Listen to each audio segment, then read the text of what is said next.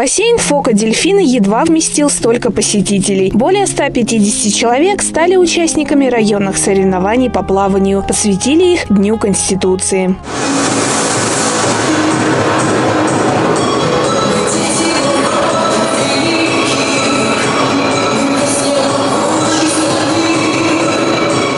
Пловцов поприветствовал глава района Сергей Айбулатов. Он с радостью отметил, что еще не прошло годы с открытия физкультурно-оздоровительного комплекса, а он уже объединил столько приверженцев здорового образа жизни.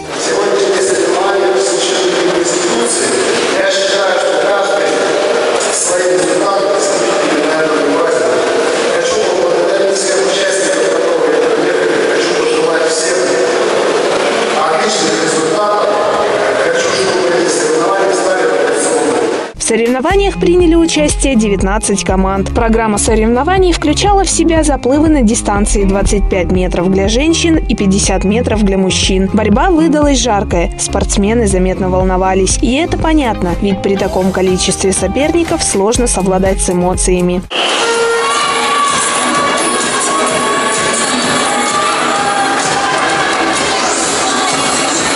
Среди женщин первое место заняла Татьяна Садовская, сотрудник районной администрации. Второй стала Ирина Панафидина, представительница ФОКа «Дельфин». Третье место у Любови Константиновой, тоже сотрудница физкультурно-оздоровительного комплекса. У мужчин места распределились следующим образом. Лучшим на дистанции 50 метров стал Данил Кармановский, представитель Карагайской школы. Второй результат показал Шафик Азналин, представитель команды «Родня». Замкнул тройку лидеров Олег Тесновец, начальник начальник управления инженерного обеспечения. Зрелищная и захватывающая прошла смешанная эстафета. Здесь не было равных сотрудникам Верхнеуральского отдела МВД. Второе место заняла команда агротехнологического техникума. Третье место завоевали сотрудники физкультурно-оздоровительного комплекса «Дельфин». В общекомандном зачете сохранилась эта же тройка лидеров.